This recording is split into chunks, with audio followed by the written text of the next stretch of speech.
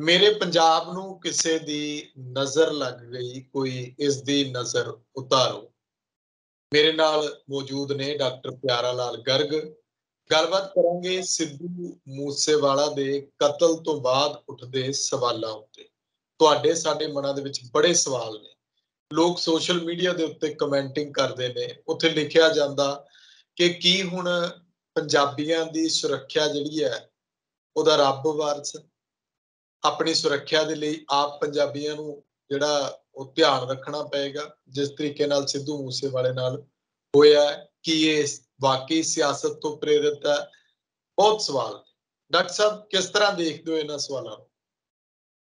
ਦੇਖੋ ਸੁਖਵਿੰਦਰ ਜੀ ਤਾਂ ਗੱਲ ਸਹੀ ਹੈ, ਜਿਹੜੀ ਤੁਸੀਂ ਪਹਿਲਾਂ ਕਹੀ ਹੈ ਵੀ ਜਿਵੇਂ ਨਜ਼ਰ ਲੱਗੀ ਹੁੰਦੀ ਹੈ ਪੰਜਾਬ ਨੂੰ, ਇਹ ਭਾਵੇਂ ਨਜ਼ਰ ਕਹੋ, ਪਰ ਮੈਂ ਕਹਾਂਗਾ ਇਹਦੇ ਉੱਤੇ ਕਰੋਪੀ ਕਰੀ ਹੋਈ ਹੈ। ਕੁਝ ਤਾਕਤਾਂ ਨੇ।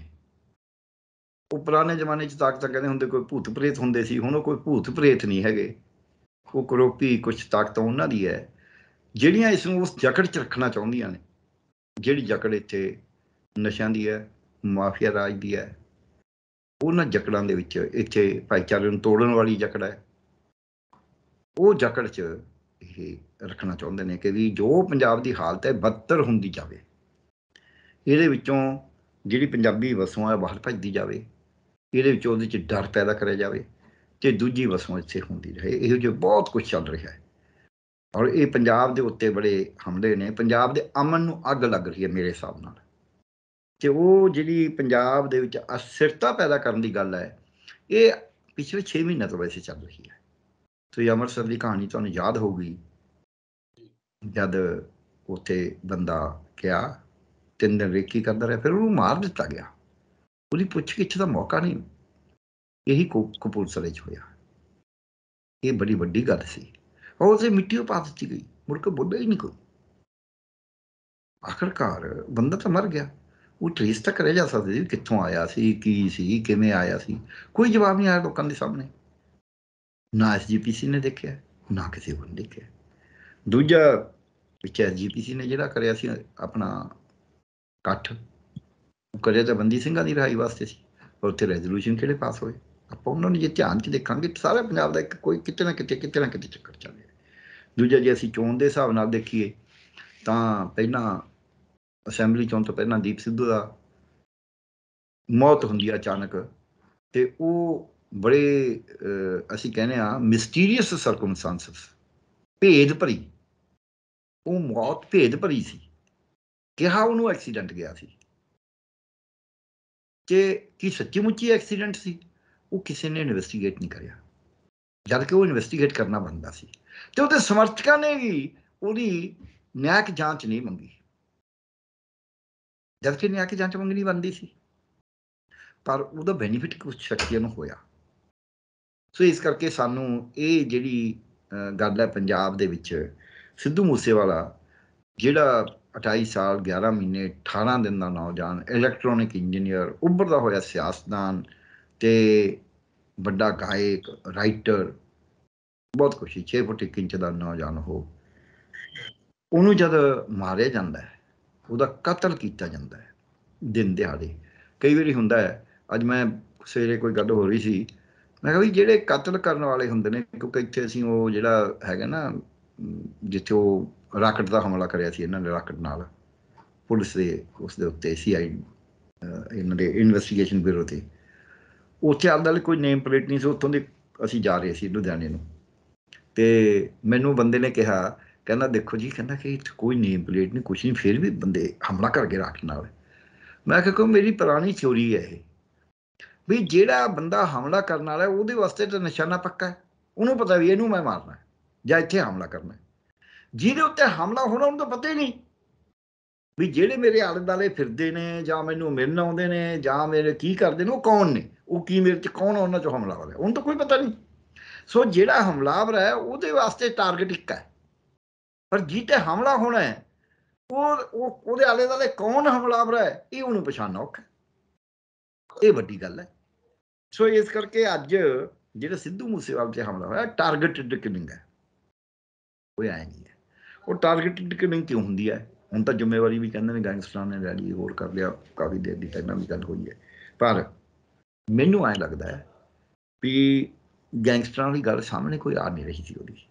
ਵੀ ਗੈਂਗਸਟਰਾਂ ਨੂੰ ਉਹਦੇ ਰਾਹੀਂ ਕੋਈ ਕੁੰਦਕ ਹੋਵੇ ਮਰਡਰ ਕਰਨ ਦੀ ਜਾਂ ਹੋਰ।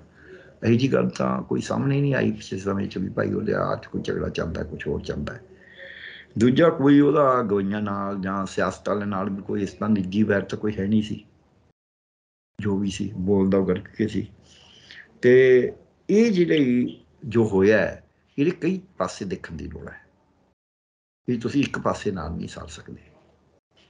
ਕਿਉਂਕਿ ਮੈਂ ਵਿਗਿਆਨ ਦਾ ਵਿਦਿਆਰਥੀ ਹਾਂ ਤੇ ਮੇਰਾ ਕ੍ਰਾਈਮ ਦੇ ਨਾਲ ਕ੍ਰਾਈਮ ਦੀ ਇਨਵੈਸਟੀਗੇਸ਼ਨ 'ਚ ਸਾਡਾ ਡਾਕਟਰਾਂ ਦਾ, ਵਿਸ਼ੇਸ਼ ਕਰਕੇ ਸਰਜਨਾਂ ਦਾ ਫੋਰੈਂਸਿਕ ਪੈਥੋਲੋਜਿਸਟਾਂ ਦਾ ਫੋਰੈਂਸਿਕ ਐਕਸਪਰਟਸ ਦਾ, ਇਹ ਬਹੁਤ ਵਾਰ ਰਹਿੰਦਾ ਹੈ। ਅਦਾਲਤਾਂ ਨਾਲ ਵੀ, ਪੁਲਿਸ ਨਾਲ ਵੀ ਤੇ ਜੁਰਮ ਦੇ ਸ਼ਿਕਾਰ ਨਾਲ ਵੀ ਤੇ ਜੁਰਮ ਕਰਨ ਵਾਲਿਆਂ ਨਾਲ ਵੀ। ਪੋਸਟਮਾਰਟਮ ਕਰਨੇ ਨੇ ਲੜਾਈਆਂ ਹੋ ਗਈਆਂ, ਗੋਲੀ ਚੱਲ ਗਈ, ਗੰਡਾਸੇ ਮਾਰੇ, ਲੱਤ ਵੱਢਤੀ ਕੁਝ ਵੀ ਕਰਤਾ, ਇਹ ਰੋਜ਼ ਹੀ ਆਉਂਦੇ ਨੇ ਕੇਸ ਸਾਡੇ ਕੋਲ।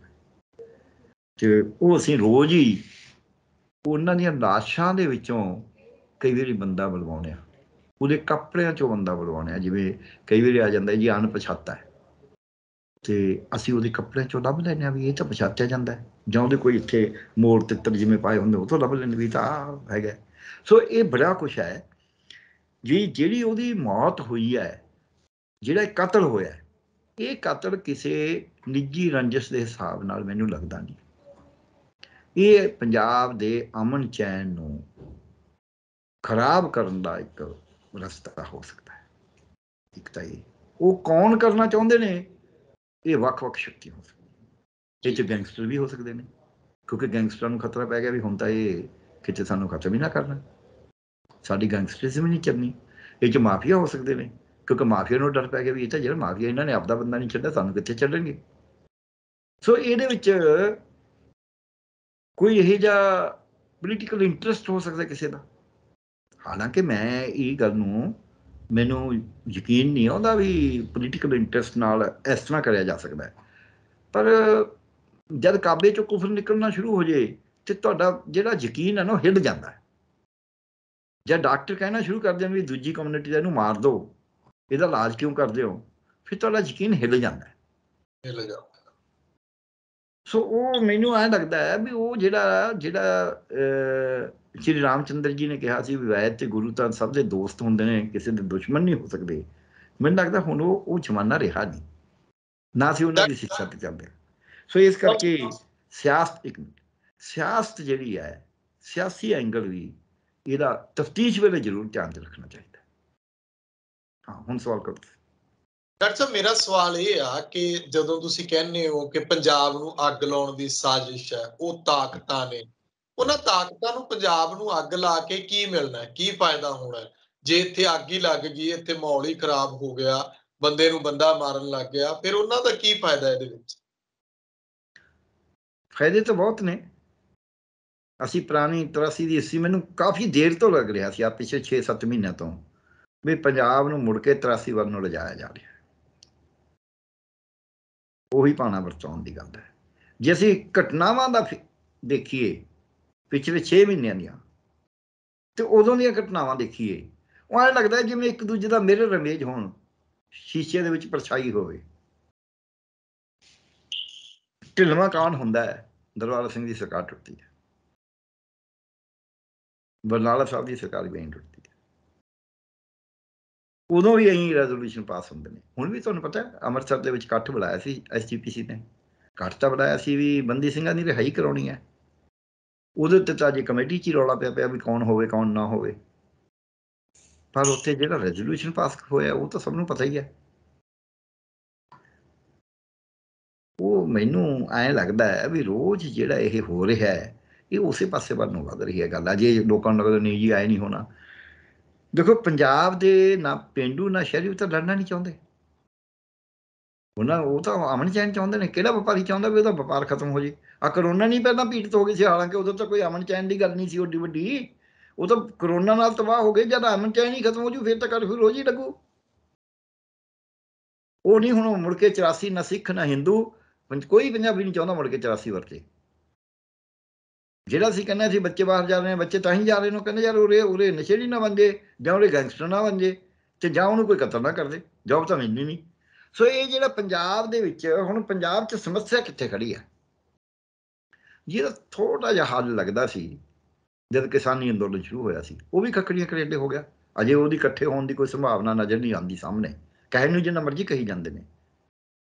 ਤੇ ਨਾ ਉਹ ਜੇ ਉਹਨਾਂ ਦੇ ਯਤਨ ਚੱਲ ਰਹੇ ਨੇ ਵੀ ਅਸੀਂ ਇਹਨਾਂ ਨੂੰ ਕਿਸੇ ਤਰ੍ਹਾਂ ਇਕੱਠਾ ਹੋਣ ਦਈਏ। ਤੇ ਹੁਣ ਸਰਕਾਰ ਵੀ ਜਦ ਚੇਤਨ ਰਹੂਗੀ ਵੀ ਇਹ ਇਕੱਠੇ ਨਾ ਹੋ ਜਾਣ।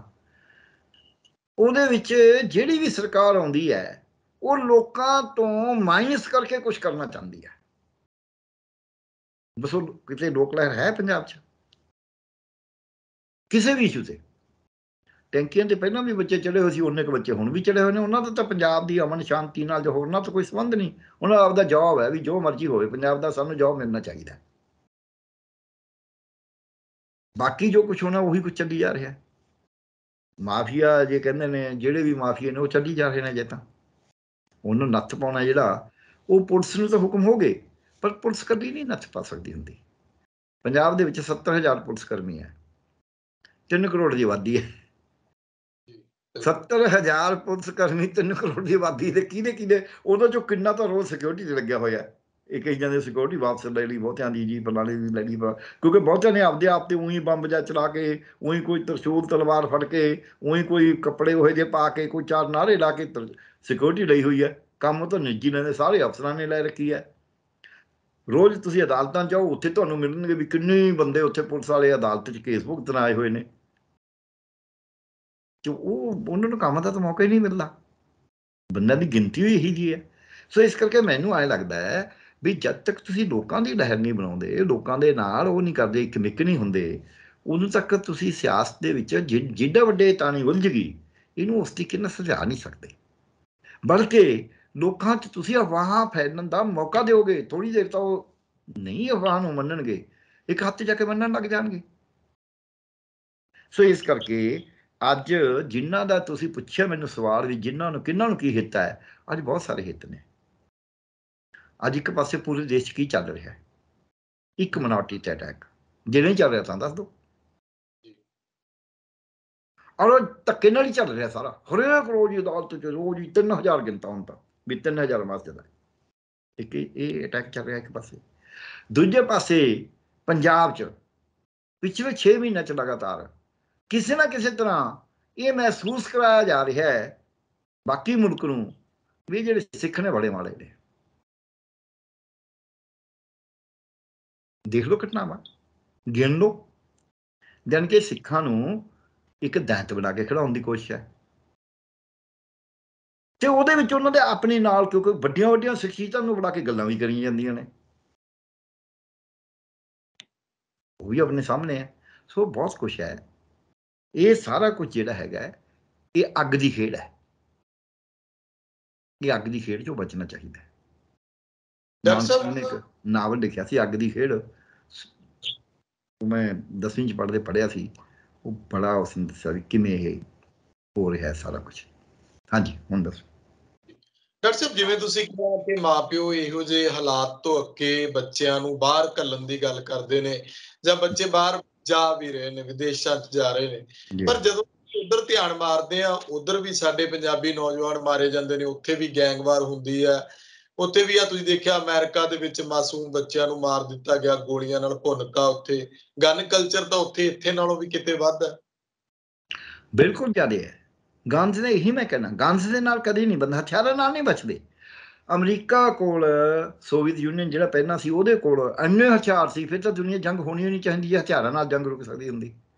ਜੇ ਹਥਿਆਰਾਂ ਨਾਲ ਜੰਗ ਜਿੱਤੀ ਜਾ ਸਕਦੀ ਹੁੰਦੀ, ਫਿਰ ਤਾਂ ਯੂਕਰੇਨ ਨੂੰ ਅੱਜ ਨੂੰ ਖਤਮ ਕਰ ਦੇਣਾ ਸੀ ਉਹਨਾਂ ਨੇ, ਜਿੱਤਾ, ਹਾ- ਹਾਰ ਜਾਣਾ ਸੀ ਯੂਕਰੇਨ ਨੇ। ਕਿਉਂਕਿ ਰੂਸ ਦਾ ਤੇ ਯੂਕਰੇਨ ਦਾ ਹਥਿਆਰਾਂ ਦੇ ਮਾਮਲੇ 'ਚ ਕੋਈ ਮੁਕਾਬਲਾ ਨਹੀਂ ਹੈ। ਸੋ ਹਥਿਆਰ ਜੰਗ ਨਹੀਂ ਜਿੱਤਦੇ, ਹਥਿਆਰ ਬੰਦੇ ਮਾਰਦੇ ਨੇ।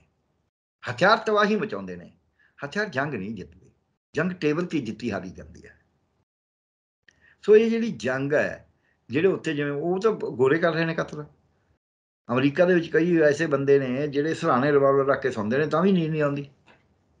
ਕਿਉਂਕਿ ਜਦ ਤੁਸੀਂ ਬੰਦਿਆਂ 'ਚ ਇਨਸਿਕਿਉਰਿਟੀ ਪੈਦਾ ਕਰਤੀ, ਜਦ ਮੈਨੂੰ ਇਹ ਲੱਗਣ ਲੱਗ ਗਿਆ, ਸੜਕ 'ਤੇ ਸੁਖਵਿੰਦਰ ਤੁਰਿਆ ਜਾ ਰਿਹਾ ਮੇਰੇ ਸਾਹਮਣੇ ਦੂਰ। ਕੋਈ ਜ਼ਮਾਨਾ ਸੀ, ਰਾਤ ਨੂੰ ਅੱਧੀ ਰਾਤ ਹੋ ਗਈ, ਹਨੇਰਾ ਹੈ ਮੈਂ ਭੱਜ ਕੇ ਜਾਣਾ ਵੀ ਉਹ ਬੰਦਾ ਜਾ ਰਿਹਾ, ਮੈਂ ਉਹਦੇ ਨਾਲ ਰਲ ਜਾਣਾ ਹੁਣ ਮੈਨੂੰ ਡਰ ਲੱਗਦਾ ਵੀ ਉਹ ਤਾਂ ਪੱਗ ਵਾਲਾ ਹੈ। ਕਿਤੋਂ ਮੇਰੇ ਆਪਦਾ ਉਹ ਗਾਤਰੇ ਦੀ ਪਾਈ ਕੁਰਬਾਨੀ ਨਾ ਮਾਰੇ। ਜਾਂ ਦੂਜੇ ਨੂੰ ਲੱਗਦਾ ਵੀ ਇਹ ਤਾਂ ਇਹਨੇ ਤਾਂ ਦੜ ਦੁੜੀ ਵਧਾਈ ਹੈ ਇਹ ਤਾਂ ਸ਼ਾਇਦ ਸੁੰਨਤ ਕਰੇ ਵਾਲਾ ਇਹ ਨਾ ਕੁਝ ਕਰਦੇ ਜਾਂ ਕਹਿੰਦੇ ਵੀ ਇਹਨੇ ਤਾਂ ਤਰਸ਼ੂਲ ਨਾ ਚੁੱਕਿਆ ਹੋਵੇ। ਸੋ ਇਨਸਾਨ ਨੂੰ ਇਨਸਾਨ ਨਾਲ ਘਿਰਨਾ ਕਰਨ ਲਾਤਾ ਇਨਸਾਨ ਨੂੰ ਇਨਸਾਨ ਤੋਂ ਡਰਨ ਲਾਤਾ ਜਿਹੜਾ ਆਪਸੀ ਭਰੋਸਾ ਸੀ। ਇਹ ਸਭ ਤੋਂ ਵੱਡੀ ਚੀਜ਼ ਹੈ।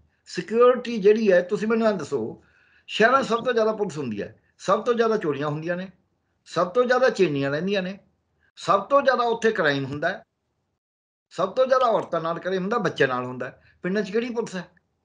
ਕੋਈ ਸਕਦਾ ਕਿਉਂਕਿ ਪਿੰਡਾਂ 'ਚ ਅਜੇ ਵੀ ਉਹ ਭਰੋਸਾ ਟੁੱਟਿਆ ਨਹੀਂ। ਗੱਲ ਤਾਂ ਇੰਨੀ ਹੋਈ ਹੈ। ਸੋ ਜਿਹਨੇ ਭਰੋਸਾ ਇਨਸਾਨ ਦਾ ਤੁਸੀਂ ਇਨਸਾਨ ਤੋਂ ਤੋੜਤਾ ਜਿਹੜੇ ਮਰਜ਼ੀ ਕਾਰਨ ਕਰਕੇ ਚਾਹੇ ਤੁਸੀਂ ਕਹਤਾ ਵੀ ਇਹ ਗੋਰਾ ਹੈ ਕਾਲਾ ਹੈ ਚਾਹੇ ਤੁਸੀਂ ਕਹਤਾ ਵੀ ਇਹਦੀ ਨਸਲ ਹੋਰ ਹੈ, ਇਹਦੀ ਨਸਲ ਹੋਰ ਹੈ। ਚਾਹੇ ਤੁਸੀਂ ਕਹਤਾ ਇਹਦੀ ਜਾਤ ਹੋਰ ਹੈ, ਇਹਦੀ ਹੋਰ ਹੈ। ਚਾਹੇ ਤੁਸੀਂ ਕਹਤਾ ਇਹਦਾ ਧਰਮ ਹੋਰ ਹੈ, ਤੇਰਾ ਹੋਰ ਹੈ। ਚਾਹੇ ਤੁਸੀਂ ਕਹਤਾ ਇਹਦਾ ਪਹਿਰਾਵਾ ਹੋਰ ਹੈ, ਤੇਰਾ ਹੋਰ ਹੈ। ਚਾਹੇ ਤੁਸੀਂ ਕਹਤਾ ਇਹ ਮਰਦ ਹੈ, ਇਹ ਔਰਤ ਹੈ। ਜਾਂ ਤੁਸੀਂ ਕਹਤਾ ਇਹਦਾ ਅਰਥਚਾਰ ਹੋਰ ਹੈ, ਤੇਰਾ ਹੋਰ ਹੈ। ਇਹ ਪਿੰਡੂ ਹੈ, ਇਹ ਸ਼ਹਿਰੀ ਹੈ। ਜੋ ਜਿਹੜਾ ਮਰਜ਼ੀ ਫ਼ਰਕ ਤੁਸੀਂ ਕਹਿਤਾ, ਜਦ ਇਨਸਾਨ ਦਾ ਇਨਸਾਨ ਤੋਂ ਵਿਸ਼ਵਾਸ ਉੱਡ ਗਿਆ। ਤੁਸੀਂ ਸੋਚੋ, ਮੈਂ ਸਭ- ਛੋਟਾ ਜਿਹਾ ਸਵਾਲ ਕਰਦਾ ਵੀ ਇਹ ਇਹ ਬੜਾ ਡੇਂਜਰਸ ਕੰਮ ਹੈ। ਇੱਕ ਕਤਲ ਨਹੀਂ ਹੈ ਇਹ। ਸਹੇ ਨੂੰ ਨਹੀਂ ਰੋਂਦੇ। ਤਹਿ ਨੂੰ ਰੋਂਦੇ ਅੱਜ ਹਾਲਤ ਇਹ ਹੋਈ ਹੈ ਕਲ ਕਾਤੀ ਰਾਜੇ ਕਸਾਈ ਧਰਮ ਪੰਖ ਉੱਡ ਰਿਆ ਕੂੜ ਅਮਾਵਸ ਸੱਚ ਚੰਦਰਮਾ ਦੀਸੈ ਨਹੀਂ ਕਹਿ ਚਲਿਆ ਉਹ ਜਿਹੜਾ ਧਰਮ ਕਿਹਾ ਸੀ ਬਾਬਾ ਨਾਨਕ ਨੇ, ਉਹ ਧਰਮ ਦਾ ਮਤਲਬ ਕੋਈ ਪੂਜਾ ਪਾਠ ਨਹੀਂ ਸੀ। ਧਰਮ ਦਾ ਮਤਲਬ ਇਹ ਸੀ, ਆਪਣੇ ਲੱਗਿਆ ਜੁਮੇ ਕੰਮ ਕਰਨਾ, ਇਨਸਾਨ ਨੂੰ ਇਨਸਾਨ ਸਮਝਣਾ, ਮਨੁੱਖੀ ਕਦਰਾਂ ਕੀਮਤਾਂ। ਸਮਾਜ ਦੇ ਅਸੂਲ ਮੰਨਣੇ। ਅੱਜ ਸਮਾਜ ਦੇ ਅਸੂਲ ਨੂੰ ਕੋਈ ਮੰਨ ਰਿਹਾ? ਮਨੁੱਖੀ ਕਦਰਾਂ ਕੀਮਤਾਂ ਨੂੰ ਮੰਨ ਰਿਹਾ ਜਿੱਦੇ ਤੁਸੀਂ ਮਨੁੱਖੀ ਕਦਰਾਂ ਕੀਮਤਾਂ ਹੀ ਖਤਮ ਕਰਤੀਆਂ, ਸਮਾਜ ਦੇ ਅਸੂਲ ਹੀ ਤੋੜਤੇ ਫਿਰ ਕਾਨੂੰਨ ਨਹੀਂ ਕਿਸੇ ਨੂੰ ਬਚਾ ਸਕਦਾ। ਇਹ ਭੁਲੇਖੇ ਆਪਾਂ ਛੱਡ ਦਈਏ ਜੇ ਭਾਈਚਾਰਾ ਸਮਝੌਤਾ ਕਰਾ ਦੇ ਕਿਸੇ ਦੀ ਲੜਾਈ ਦਾ ਫਿਰ ਤੁਹਾਡੀ ਛੇਤੀ ਹੋ ਜਾਂਦਾ ਪਰ ਜੇ ਅਦਾਲਤਾਂ 'ਚ ਚਲਾ ਜਾਂਦਾ ਕੇਸ, ਫਿਰ ਤੁਹਾਨੂੰ ਪਤਾ ਹੀ ਹੈ ਵੀ ਕਿੰਨੇ ਕਿੰਨੇ ਸਾਲ ਲਟਕਦੇ ਨੇ ਤਾਂ ਦੋਨੇ ਤਰ੍ਹਾਂ ਤਬਾਹ ਹੋ ਜਾਂਦੀਆਂ ਨੇ। ਮੈਂ ਛੋਟੀ ਜਿਹੀ ਉਦਾਹਰਨ ਦੇਵਾਂਗਾ ਇਸ ਦੀ। ਮੈਂ ਬਹੁਤ ਸਾਰੇ ਮੈਡੀਕਲ ਲੀਗਲ ਇਕੱਠੇ ਹੋਣਗੇ। ਪਰ ਉਹਦੀ ਮੇਰੀ ਇੱਕ ਥਿਉਰੀ ਹੁੰਦੀ ਆਮ ਤੌਰ ਤੇ ਲੜਾਈਆਂ ਚਾਚੇ ਤਾਇਆਂ ਦੀਆਂ, ਜਵਾਕਾਂ ਦੀਆਂ ਆਪਸ ਵਿੱਚ ਐ ਹੋ ਜਾਂਦੀਆਂ, ਪਾਣੀ ਵੱਢ ਲਿਆ ਜੀ, ਲੜ ਪਏ ਜੀ, ਜਵਾਕ ਲੜ ਪਏ ਜੀ, ਘਰ ਤਾਂ ਨਾਲ ਨਾਲ ਹੀ ਹੁੰਦੇ ਨੇ, ਖੇਤ ਵੀ ਨਾਲ ਹੀ ਹੁੰਦੇ ਨੇ, ਵੱਟ ਵੱਢ ਲਈ ਦੀ ਆਹ ਗਨੋਸਾ ਮਾਰਦੇ ਨੇ ਸਿਰ 'ਚ। 6 ਇੰਚ ਦਾ ਫੱਟ ਉਹਦੇ 4 ਇੰਚ ਦਾ 4 ਇੰਚ 6 ਇੰਚ ਦਾ ਉਹਦੇ। ਤੇ 26 ਤਾਂ ਬਣੀ ਬਣੀ ਹੁੰਦੀ ਹੈ, ਕਿਸੇ ਕਦੇ ਦੇ ਕਦੇ 307 ਵੀ ਬਣ ਜਾਂਦੀ ਹੈ। ਮੈਂ ਉਹਨਾਂ ਸਾਰਿਆਂ ਨੂੰ ਇਹ ਕਹਿੰਦੀ ਵੀ ਤੁਸੀਂ ਕੀ ਕਰਦੇ ਹੋ? ਮੈਂ ਤਾਂ ਪੈਸੇ ਨਹੀਂ ਲਏ ਪਰ ਪੁਲਿਸ ਤੋਂ ਪੈਸੇ ਲਊ, ਵਕੀਲ ਤੋਂ ਪੈਸੇ ਲਊ। ਤੁਸੀਂ ਇਹਨਾਂ ਨੂੰ ਉਜਾੜਨਾ ਇਹ ਚਾਚੇ ਤਾਂ ਨੇ, ਰੋਜ਼ ਹੀ ਇਹਨਾਂ ਨੇ ਇਕੱਠੇ ਰਹਿਣਾ, ਰੋਜ਼ ਲੜਾਈ ਹੋਣੀ ਹੈ।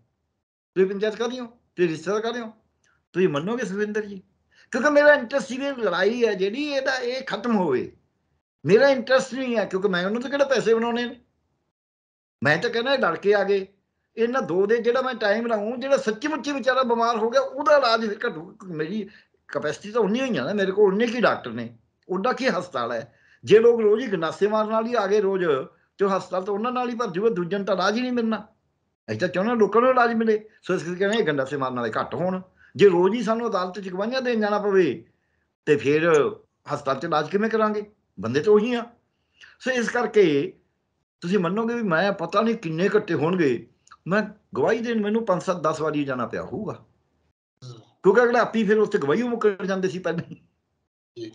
ਸੋ ਮੈਂ ਤਾਂ ਕਹਿਣਾ, ਸਮਾਜ 'ਚ ਏਕਾ ਕਰਾਉਣਾ ਲੜਾਈਆਂ ਹੁੰਦੀਆਂ ਨੇ, ਝਗੜੇ ਹੁੰਦੇ ਨੇ, ਸੋ ਸਿੱਧੂ ਮੂਸੇਵਾਲੇ ਦਾ ਜਿਹੜਾ ਕਤਲ ਹੈ, ਇਹ ਸਧਾਰਨ ਲੜਾਈ ਨਹੀਂ ਹੈ। ਇਹ ਸਧਾਰਨ ਕਤਲ ਨਹੀਂ ਹੈ। ਇਹ ਭਾਈਚਾਰਕ ਲੜਾਈ ਨਹੀਂ ਹੈ। ਇਹ ਘਰੇਲੂ ਲੜਾਈ ਨਹੀਂ ਹੈ। ਇਹ ਮੈਨੂੰ ਇਹ ਲੱਗਦਾ ਹੈ ਵੀ ਇਹਦੇ 'ਚ ਵੱਡੀ ਚਾਲ ਹੈ ਕੋਈ। ਉਹ ਚਾਲ ਦੇ ਹਿੱਤ ਕੋਈ ਵੀ ਹੋ ਸਕਦੇ ਨੇ। ਉਹਦੇ ਹਿੱਤ ਹੋ ਸਕਦੇ ਨੇ ਮਾਫੀਆ ਰਾਜ ਨੂੰ ਕਾਇਮ ਰੱਖਣਾ। ਉਹਨੂੰ ਡਰ ਕੇ ਮਾਫੀਆ ਰਾਜ ਨੂੰ ਬੰਦ ਕਰ ਰਹੇ ਨੇ। ਇਹ ਸਰਕਾਰ ਕਰ ਸਕਦੀ ਨਹੀਂ ਕਰ ਸਕਦੀ, ਅਗਲੀ ਗੱਲ ਹੈ। ਉਹਦਾ ਡਰ ਹੋ ਸਕਦਾ ਹੈ, ਉਹ ਉਹਦਾ ਹਿੱਤ ਹੋ ਸਕਦਾ ਵੀ ਇਹਨੂੰ ਬਦਨਾਮ ਕਰਨਾ, ਉਹਦਾ ਹਿੱਤ ਹੋ ਸਕਦਾ ਪੰਜਾਬ ਨੂੰ ਬਦਨਾਮ ਕਰਨਾ, ਉਹਦਾ ਹਿੱਤ ਹੋ ਸਕਦਾ ਪੰਜਾਬ ਦੇ ਜਿਹੜਾ ਹੈਗਾ ਸ਼ਾਂਤੀ ਉਹਨੂੰ ਲਾਂਬੂ ਲਾਉਣਾ।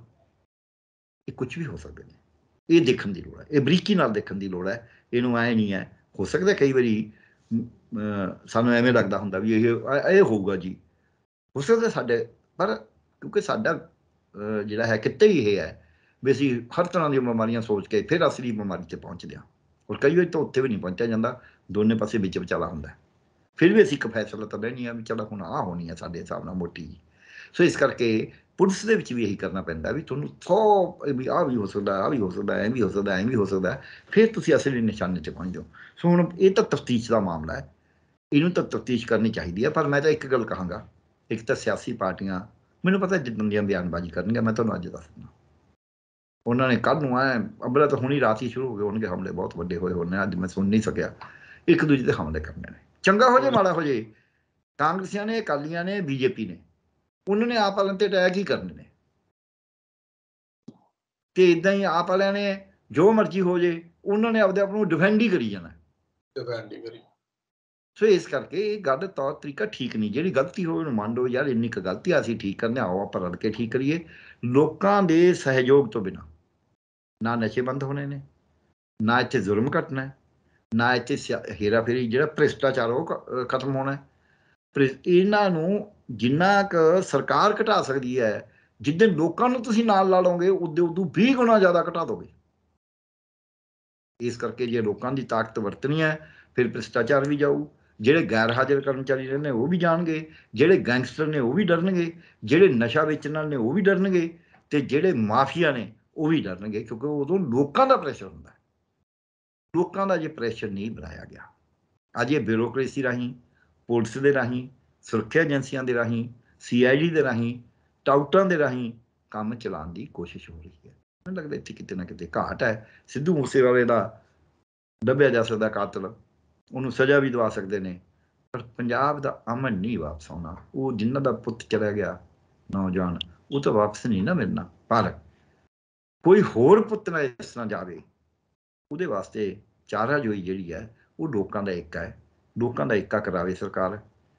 ਤੇ ਲੋਕਾਂ ਦੇ ਕੋਈ ਐਸੇ, ਮੈਂ ਤਾਂ ਕਹਾਂਗਾ ਸਾਰੀਆਂ ਪਾਰਟੀਆਂ ਨੂੰ ਆਮਨ ਕਮੇਟੀਆਂ ਬਣਾ ਕੇ, ਅਜੇ ਜਿੱਦਾਂ ਅੱਗ ਲੱਗੀ ਉਦੋਂ ਮਸ਼ਕਾਂ ਕਾਦੇ ਵਾਸਤੇ ਢੋਣੀਆਂ ਨੇ? ਲੱਗਣ ਤੋਂ ਪਹਿਲਾਂ ਸੋਚ ਲਓ ਇਕੱਠੇ ਹੋ ਕੇ ਵੀ ਭਾਈ ਅੱਗ ਲੱਗੇ ਨਾ।